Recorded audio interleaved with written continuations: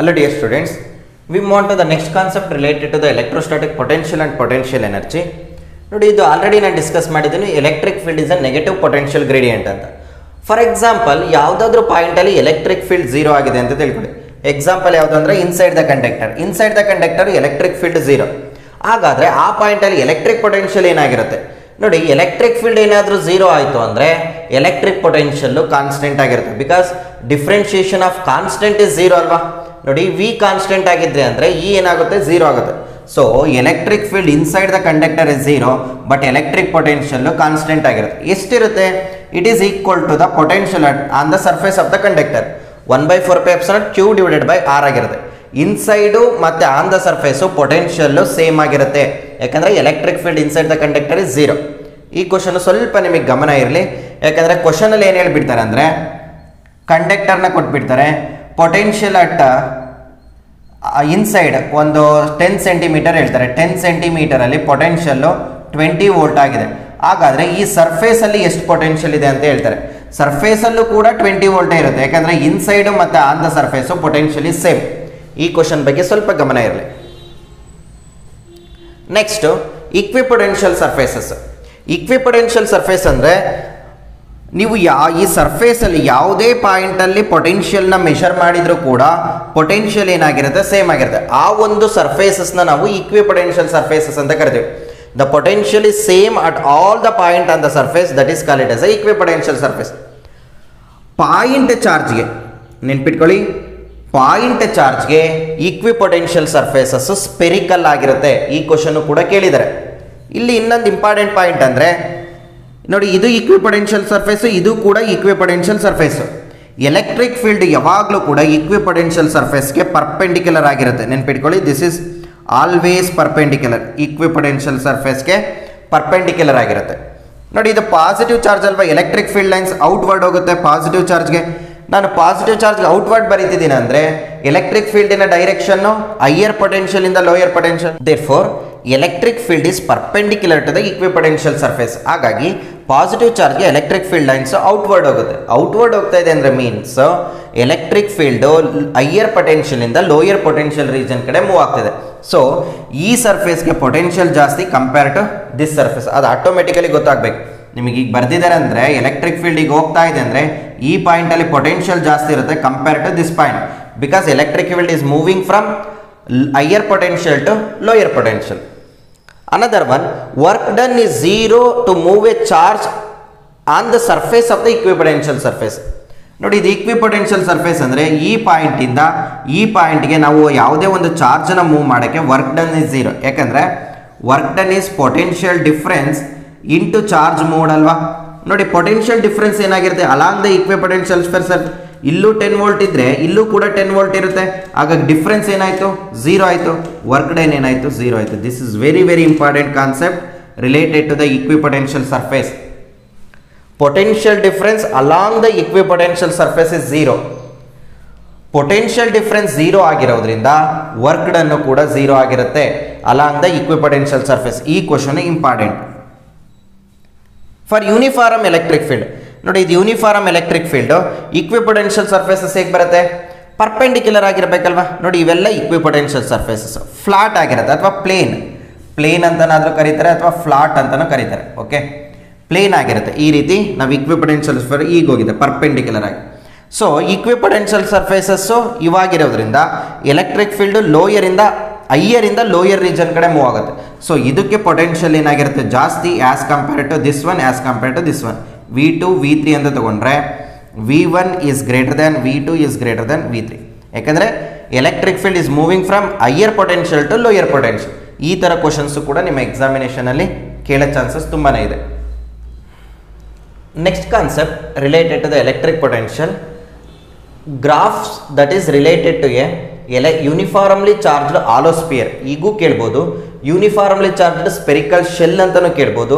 ಅಥವಾ metallic or conducting or non conducting ಅಂತ conducting or non conducting spherical shell ಅಂತನಾದರೂ ಕೇಳ್ಬೋದು. ಅಥವಾ ಕಂಡಕ್ಟಿಂಗ್ ಸಾಲಿಡ್ ಸ್ಪಿಯರ್ ಈ ಎಲ್ಲ ವರ್ಡ್ಗಳು ಇತ್ತು ಅಂದರೆ ಪೊಟೆನ್ಷಿಯಲ್ ಗ್ರಾಫು ಸೇಮ್ ಗ್ರಾಫು ನೋಡಿ ಪೊಟೆನ್ಷಿಯಲ್ ಈಗ ವೇರಿ ಆಗ್ತಿದೆ ಅಂದರೆ inside on the surface potential is constant outside ಏನಾಗ್ತಿದೆ ಪೊಟೆನ್ಷಿಯಲ್ಲು ವೇರಿ ಆಗ್ತಿದೆ. ನೋಡಿ, ಇಲ್ಲಿ, ಇಲ್ಲಿಂದ ಹಿಡಿದು inside centre inside on the surface potential ಏನಾಗಿರುತ್ತೆ ಅಂದರೆ one by four by epsilon naught Q divided by R ಆಗಿರುತ್ತೆ. This is very important ಸೆಂಟರಲ್ಲಿ inside on the surface outside ಏನಾಗುತ್ತೆ? Potential will be decreases with respect to distance Q divided by R ಈ ಫಾರ್ಮುಲಾಗಳು ನೆನ್ಪಿಟ್ಕೊಳ್ಳಿ. ತುಂಬಾ important ಕ್ವಶನ್ಸ್ಗಳು ತುಂಬಾ ಬರುತ್ತೆ. ಈ ಎಲ್ಲ ವರ್ಡ್ ಇದ್ರೆ ಗ್ರಾಫ್ ಇದು.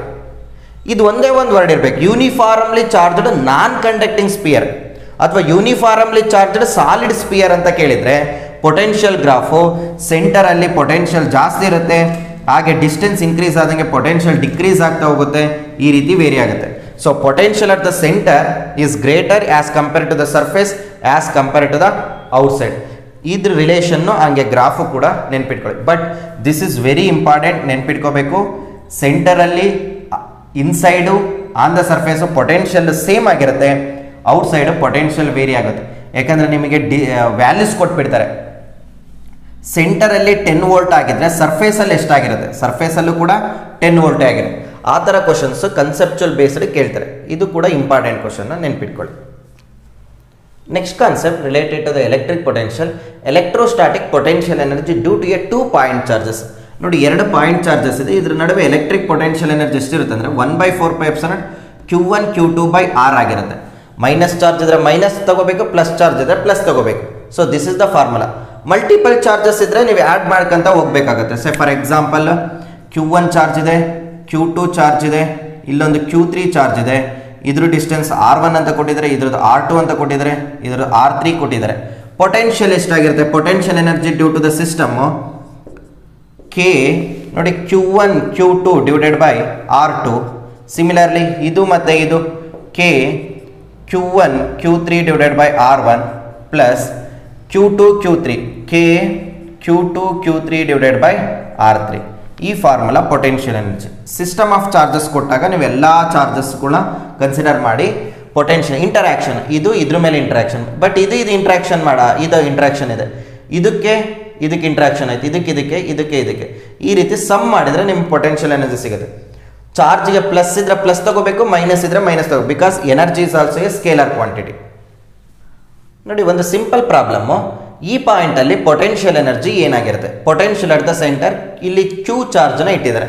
ನೋಡಿ ಪೊಟೆನ್ಷಿಯಲ್ ಅಟ್ ದ ಸೆಂಟರ್ ಅಂದರೆ ಈ ಚಾರ್ಜ್ ಈ ಡಿಸ್ಟೆನ್ಸ್ ಈ ಚಾರ್ಜ್ ಈ ಡಿಸ್ಟೆನ್ಸ್ ಈ ಚಾರ್ಜ್ ಈ distance this charge and distance ಈ ಡಿಸ್ಟೆನ್ಸ್ ಆರ್ ಆಗಿದೆ ಅಂದರೆ ನಾನು ಆಗಲೇ ಹೇಳಿದ್ದು R divided by root two ಆಗಿರುತ್ತೆ. ನಾನು ಒಂದೊಂದೇ ಕನ್ಸಿಡರ್ ಮಾಡ್ತೀನಿ. Potential energy is equal to this charge and this distance because Q one Q two ತಗೋಬೇಕಲ್ವಾ? Say K Q Q divided by distance ಎಷ್ಟಿದೆ? ಆರ್ ಡಿವೈಡೆಡ್ ಬೈ ರೂಟ್ ಇದಾಯಿತು. Next ಈ charge Q Q ಇದೆ.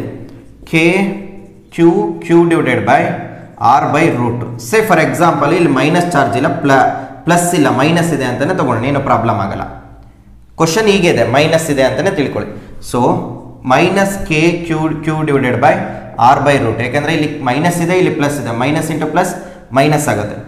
Plus ಇಲ್ಲಿ plus ಇದೆ, ಇಲ್ಲಿ plus ಇದೆ. K q q divided by r divided by root ಈ ಥರ ನೀವೇನು ಮಾಡಬೇಕು? ಆ್ಯಡ್ ಅಪ್ ಮಾಡ್ಕೊಂತ ಹೋಗ್ಬೇಕು. So potential at the centre ಏನಾಯಿತು? This is the potential at the centre ನೋಡಿ ಕೆ ಕ್ಯೂ ಇದು ಇದು ಗೆಟ್ ಕ್ಯಾನ್ಸಲ್ ಆಗುತ್ತೆ. Remaining U is equal to ಇದು ಟೂ ಟೈಮ್ಸ್ ಆಯ್ತಲ್ವಾ? Two times K Q square divided by R by root two ಅಥವಾ two root two K Q square divided by R this is the potential at the centre for the given charges ಈ ಚಾರ್ಜ್ಗಳಿಗೆ ಇಷ್ಟು potential ಸೆಂಟರಲ್ಲಿದೆ so ಈ type of problem ಕೂಡ ನಿಮ್ಮ ಎಕ್ಸಾಮಿನೇಷನಲ್ಲಿ ಕೇಳೋ chances ಇದೆ. ನೆಕ್ಸ್ಟ್ ಪೊಟೆನ್ಷಿಯಲ್ ಡ್ಯೂಟಿಯ ಡೈಪಲ್ ನೋಡಿ, ಈ ಕ್ವಶನ್ನ ನಿಮ್ಮ ಟ್ವೆಂಟಿ ಟ್ವೆಂಟಿ ನೀಟ್ ಎಕ್ಸಾಮಿನೇಷನಲ್ಲೇ ಕೊಟ್ಟಿದ್ದಾರೆ. ಇಲ್ಲೊಂದು ಏನಿದೆ? ಡೈಪೋಲ್ ಇದೆ. See minus Q charge plus Q charge separated by some small distance two A ಅಂತಲೇ ತಗೊಳ್ಳೋಣ. ಈ ಪಾಯಿಂಟಲ್ಲಿ ಈ ಪಾಯಿಂಟಲ್ಲಿ ಡೈಪೋಲಿಂದ ತೀಟಾ ಆ್ಯಂಗಲ್ ಮೇಕ್ ಮಾಡಿದೆ ಸೆಂಟರ್ ಆಫ್ ದ ಡೈಪೋಲಿಂದ ಈ ಪಾಯಿಂಟಲ್ಲಿ ಪೊಟೆನ್ಷಿಯಲ್ ಎಷ್ಟಿದೆ ಅಂದರೆ potential at that point P is equal to K P cos theta Q by R square P ಅಂದರೆ Q into two A dipole moment okay question ಏನು ಮಾಡಿದ್ರು ಅಂದರೆ ತೀಟಾ ಕೊಟ್ಬಿಟ್ಟಿದ್ರು ಡಿಸ್ಟೆನ್ಸ್ ಕೊಟ್ಬಿಟ್ಟಿದ್ರು ಪೊಟೆನ್ಷಿಯಲ್ನ ಕ್ಯಾಲ್ಕುಲೇಟ್ ಮಾಡಕ್ಕೆ ಹೇಳಿದರು. ಇದು ಸ, ಎಲ್ಲಿ? ಒಂದು ಸಮ್ ಆ್ಯಂಗಲ್ನ ಮೇಕ್ ಮಾಡಿದಾಗ. ಹಾಗಾದರೆ ಎಕ್ಸಾಕ್ಟ್ಲಿ ಸೆ ಫಾರ್ ಎಕ್ಸಾಂಪಲ್ ಇದು ಕ್ಯೂ ಇದು ಕ್ಯೂ ಆಕ್ಸಿಯಲ್ ಲೈನಲ್ಲಿ ಈ ಪಾಯಿಂಟ್ ಇಲ್ಲಿರೋ ಪಾಯಿಂಟು ಇಲ್ಲಿದೆ ಅಂತ ತಿಳ್ಕೊಳ್ಳಿ ಆಕ್ಸಿಯಲ್ ಲೈನಲ್ಲಿ ಎಷ್ಟು ಪೊಟೆನ್ಷಿಯಲ್ ಇರುತ್ತೆ? ನೋಡಿ potential at the line theta ಏನಾಗುತ್ತೆ? ಆಕ್ಸಿಯಲ್ ಲೈನ್ ಅಂದರೆ ತೀಟ ಝೀರೋ ಡಿಗ್ರಿ ಆಯಿತು. So K P divided by cos zero degree is one R square this is the potential at axial line ಈ ಪಾಯಿಂಟಲ್ಲಿ exactly ಈ point perpendicular ಇದ್ರೆ equatorial line ಅಥವಾ perpendicular bisector ಅಲ್ಲಿ theta ಏನಾಯಿತು? Ninety degree ಆಯಿತು. So potential due to the perpendicular bisector ಇದು axial parallel theta ninety degree ಅಂದರೆ cos ninety degree, zero. Potential ಏನಾಯಿತು? Zero. This is very important ಕೊಟೆನ್ಶ್ question potential due to a perpendicular perpendicular bisector. Potential a dipole at a perpendicular bisector or equatorial line potential ಏನಾಗಿರುತ್ತೆ? Zero ಆಗಿರುತ್ತೆ. ಈ question ತುಂಬಾ important ನೆನ್ಪಿಟ್ಕೋಬೇಕು okay general ಪಾಯಿಂಟ್ಗೆ ಈ formula ಪಿನೇ calculate ಮಾಡಿದ್ರೆ q into two a okay ಇನ್ನೊಂದು ನೆನ್ಪಿಟ್ಕೊಳ್ಳಿ.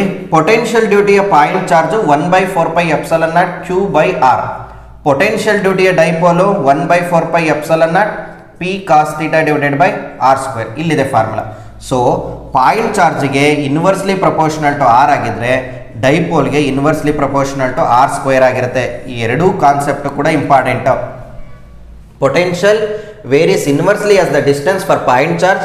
Potential varies as inversely square of the distance for the dipole last concept that is related to electric potential and potential energy potential energy of an electric dipole in a uniform electric field ನೋಡಿ ಒಂದು ಡೈಪೋಲ್ನ uniform electric ಫೀಲ್ಡಲ್ಲಿ ಇಟ್ಟಿದ್ದೀವಿ minus q charge plus q charge separate place some small distance two a ನಮಗೆ ಗೊತ್ತಿದೆ dipole ಮೊಮೆಂಟಿನ direction minus Q ಚಾರ್ಜಿಂದ plus Q charge ಕಡೆ this is the direction of the dipole moment ಹಾಗಾದ್ರೆ torque experienced by the dipole first ಚಾಪ್ಟರ್ಲ್ಲೇ ಕಲ್ತಿದ್ದು torque is equal to p sine theta torque ಯಾವಾಗ maximum ಆಗಿರುತ್ತೆ ನೋಡಿ theta is equal to ninety degree ಆಯ್ತು ಅಂದ್ರೆ sine ninety degree one torque ಏನಾಗಿರುತ್ತೆ? Maximum that is equal to p theta is equal to zero degree or one eighty degree torque ಏನಾಗಿರುತ್ತೆ? Minimum ಆಗಿರುತ್ತೆ. ಈ question ಕೂಡ examination ಅಲ್ಲಿ ಕೇಳೋ chances ಇದೆ. ಮೀನ್ಸ್ ಇದರ ಅರ್ಥ ಏನಪ್ಪಾ ಅಂದ್ರೆ ಡೈಪೋಲ್ನ ಪ್ಯಾರಲಲ್ ಆಗಿ ಆರ್ ಆಂಟಿ ಪ್ಯಾರಲಲ್ ಆಗಿ ನಾವೇನಾದ್ರೂ ಅಲೈನ್ ಮಾಡಿದ್ರೆ ಟಾರ್ಕ್ ಝೀರೋ ಆಗಿರುತ್ತೆ. ಪರ್ಪೆಂಡಿಕ್ಯುಲರ್ ಆಗಿ ಅಲೈನ್ ಮಾಡಿದರೆ ಟಾರ್ಕ್ ಏನಾಗಿರುತ್ತೆ? ಮ್ಯಾಕ್ಸಿಮಮ್ ಆಗಿರುತ್ತೆ. ಇಲ್ಲಿ ಇಂಪಾರ್ಟೆಂಟು ಪೊಟೆನ್ಷಿಯಲ್ ಎನರ್ಜಿ. ನೋಡಿ, general formula for the potential energy is minus p e cos theta minus p e cos theta ಹಾಗಾದರೆ change in potential energy is nothing but work done ಏನು ಹೇಳ್ಬಿಡ್ತಾರೆ ಅಂದರೆ initially some orientation ಇದೆ. ನಾವು ಡೈಪೋಲ್ನ ಈಗ rotate ಮಾಡ್ತಿದ್ದೀವಿ work done ಎಷ್ಟು ಅಂತ ಕೇಳ್ತಾರೆ. ಏನು ಮಾಡಬೇಕಂದ್ರೆ ಜಸ್ಟ್ ನೀವು ಇನ್ಷಿಯಲಿ ಓರಿಯೆಂಟೇಷನ್ ಇತ್ತಲ್ವಾ, ಅದಕ್ಕೆ ಪೊಟೆನ್ಷಿಯಲ್ ಎನರ್ಜಿ ಕ್ಯಾಲ್ಕುಲೇಟ್ ಮಾಡಬೇಕು. ಮತ್ತೆ ರೊಟೇಟ್ ಮಾಡ್ತಿರ್ತಾರಲ್ವಾ, ಅದಕ್ಕೆ ಎಷ್ಟು ಪೊಟೆನ್ಷಿಯಲ್ ಎನರ್ಜಿ ಕ್ಯಾಲ್ಕುಲೇಟ್ ಮಾಡಬೇಕು. ಅದನ್ನು ಡಿಫ್ರೆನ್ಸ್ ಮಾಡಿದರೆ ನಿಮಗೆ ವರ್ಕ್ ಡನ್ ಸಿಕ್ಬಿಡುತ್ತೆ. That is change in potential energy is nothing but final potential energy minus initial potential energy final potential energy minus p cos two minus initial potential energy minus p e cos one ಇದನ್ನು subtract ಮಾಡಿ work done ಸಿಕ್ಬಿಡುತ್ತೆ. P e cos one minus p e cos two this is the change in potential energy it is also call it as a work done ಏನಂತ question ಕೇಳ್ತಾರೆ ಅಂದರೆ sir for example theta one zero ಡಿಗ್ರಿನಲ್ಲಿದೆ. ಈಗ ನಾವೇನು ಮಾಡ್ತಿದ್ದೀವಿ ಅಂದರೆ rotate ಮಾಡ್ತಾ ಇದ್ದೀವಿ theta two ninety degree ಅಥವಾ ಒನ್ ಏಯ್ಟಿ ಡಿಗ್ರಿಗೆ ರೊಟೇಟ್ ಮಾಡ್ತಿದ್ದೀವಿ ಹಾಗಾದರೆ ಎಷ್ಟು ವರ್ಕ್ ಡನ್ ಬೇಕು? ಝೀರೋ ಡಿಗ್ರಿಯಲ್ಲಿರೋದು ಈಗ ರೊಟೇಟ್ ಮಾಡೋಕ್ಕೆ ಎಷ್ಟು ವರ್ಕ್ ಡನ್ ಬೇಕು ಅಂತ ಅಂದರೆ work done is nothing but change in potential initial ಎಷ್ಟಿದೆ? Theta one zero degree cos zero degree ಅಂದರೆ ಒನ್ ಅಲ್ಲಿಗೆ ಕಾ ಪಿ ಇ ಆಯಿತು. ತೀಟಾ ಟು ಅಂದರೆ one eighty degree cos one eighty degree ಅಂದರೆ minus one minus into minus plus ಆಗುತ್ತೆ. Plus p so work done ಎಷ್ಟು ಬೇಕು ನಮಗೆ? ಟೂ ಟೈಮ್ಸ್ ಪಿ ಇ ಬೇಕು. ಈ ಥರ ಕ್ವಶನ್ಸು ಕೇಳೋ ಚಾನ್ಸಸ್ ತುಂಬಾ ಇದೆ. ನಿಮಗೆ ಏನು ಮಾಡ್ತಾರೆ ಅಂದರೆ ತೀಟಾ ಡೈರೆಕ್ಟ್ಲಿ ಝೀರೋನ ಒನ್ ಏಯ್ಟಿ ಕೊಡಲ್ಲ ಸಮ್ಟೈಮ್ಸ್ ಝೀರೋ ಡಿಗ್ರಿಯಲ್ಲಿದೆ ತರ್ಟಿ ಡಿಗ್ರಿಗೆ ರೊಟೇಟ್ ಮಾಡಬೇಕು. ಅವಾಗ ತೀಟಾ ಟೂನ ನೀವೇನು ಮಾಡಬೇಕು? ತರ್ಟಿ ಡಿಗ್ರಿ ತುಂಬಾ important questions very very important questions ಇವು. Okay next concept stable equilibrium not in unstable ಇಕ್ವಿ ಇದ್ರ ಮೇಲೆ ಕ್ವಶನ್ಸ್ ಕೇಳ್ತಾರೆ. ಸ್ಟೇಬಲ್ ಇಕ್ಲುಬ್ರಿಯಮಲ್ಲಿ ಪೊಟೆನ್ಷಿಯಲ್ ಎನರ್ಜಿ ಏನಾಗಿರುತ್ತೆ? ಅನ್ಸ್ಟೇಬಲ್ ಅಲ್ಲಿ ಏನಾಗಿರುತ್ತೆ ಅನ್ನೋದ್ರ ಕ್ವಶನ್ ಬರುತ್ತೆ. ನೋಡಿ ಸ್ಟೇಬಲ್ ಇಕ್ವಿಲಿಬ್ರಿಯಂ ಅಂದರೆ ಎಲೆಕ್ಟ್ರಿಕ್ ಫೀಲ್ಡು ಮತ್ತು ಎಲೆಕ್ಟ್ರಿಕ್ ಡೈಪೋಲ್ ಮೂಮೆಂಟು ಒಂದೇ ಡೈರೆಕ್ಷನಲ್ಲಿ ಅಲೈನ್ ಆಗಿದ್ರೆ ಸ್ಟೇಬಲ್ ಅಂತ ಕರಿತೀವಿ. ತೀಟ ಝೀರೋ ಡಿಗ್ರಿ ಆಗುತ್ತೆ. ತೀಟ ಝೀರೋ ಡಿಗ್ರಿ ಆಯ್ತು ಅಂದರೆ ಪೊಟೆನ್ಷಿಯಲ್ ಎನರ್ಜಿ ಮಿನಿಮಮ್ ಆಗುತ್ತೆ. ಟಾರ್ಕು ಝೀರೋ ಆಗಿಬಿಡುತ್ತೆ. ನೋಡಿ torque zero potential energy minimum means torque zero ಅಂದರೆ ನೋ ರೊಟೇಷನಲ್ ಎಫೆಕ್ಟ್ ಅಂತ. ನಾಟಿನ್ ಇನ್ ಇಕ್ವಿಲಿಬ್ರಿಯಂ ಅಂದರೆ ಎಲೆಕ್ಟ್ರಿಕ್ ಫೀಲ್ಡು ಮತ್ತು ಡೈಪೋಲ್ ಮೂಮೆಂಟು ಪರ್ಪೆಂಡಿಕ್ಯುಲರ್ ಅಲೈನ್ ಆದರೆ. ಪರ್ಪೆಂಡಿಕ್ಯುಲರ್ ಅಲೈನ್ ಆದರೆ theta ninety degree potential energy minimum ಆಗಿಬಿಡುತ್ತೆ.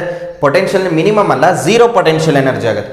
This is the minimum potential energy this zero potential energy theta ninety degree ಆದರೆ torque becomes maximum more rotational effect unstable equilibrium ಅಂದರೆ electric field ಮತ್ತು potential electric dipole moment not potential electric dipole moment anti parallel align ಆದರೆ okay one eighty degree angle ಇದ್ರೆ theta ಇಲ್ಲಿ ಏನಾಗಿರುತ್ತೆ? One eighty degree ಆಗುತ್ತೆ. Theta one eighty degree ಆದಾಗ torque zero ಆಗಿಬಿಡುತ್ತೆ. Potential energy maximum ಆಗುತ್ತೆ maximum potential energy is nothing but unstable equilibrium there are two types of equilibrium stable another one unstable equilibrium so unstable ಅಲ್ಲಿ potential energy ಏನಾಗಿರುತ್ತೆ? Stable ಅಲ್ಲಿ potential energy ಏನಾಗಿರುತ್ತೆ? ಅದೇ ರೀತಿ torque ಏನಾಗಿರುತ್ತೆ? ಅದ್ರ ಬಗ್ಗೆ ಕ್ವಶನ್ಸು ನಿಮ್ಮ ಎಕ್ಸಾಮಿನೇಷನ್ ಅಲ್ಲಿ ಆಲ್ರೆಡಿ ಕೇಳಿದ್ದಾರೆ. ಇಲ್ಲಿ ತುಂಬ ಇಂಪಾರ್ಟೆಂಟ್ ಕ್ವಶನ್ನು ವರ್ಕ್ ಡನ್ ಇದ್ರ ಮೇಲೆ ಕ್ವಶನ್ಸು ಕೇಳೋ ಚಾನ್ಸಸ್ಸು ತುಂಬಾ ಜಾಸ್ತಿ ಇದೆ. Work done is nothing but initial potential phi this is p e cos theta initial potential energy minus final potential energy okay ಇಲ್ಲಿ u final minus u initial ಬರಿತೀವಿ ನಾವು. But ಇಲ್ಲಿ ಮೈನಸ್ ಸೈನ್ ಇರೋದ್ರಿಂದ ನಿಮಗೆ initial minus final ಬಂದ್ಬಿಡುತ್ತೆ. So these are the very important topics that are related to our electric potential and potential energy thank you